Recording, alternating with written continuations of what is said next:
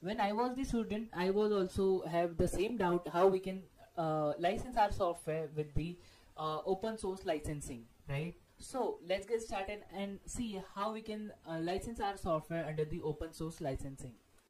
So for this, you should have a GitHub account and you should be on your dashboard. Okay. Now from here, you should click a new button. Then you should name your directory. Let's name it as example okay? In this directory you are going to append your code whatever you wanna make public right? After this you can make the uh, readme file and can select license from here okay? For now I am selecting the MIT license because it is most uh, permissive license with the user perspective. Let's create a repository.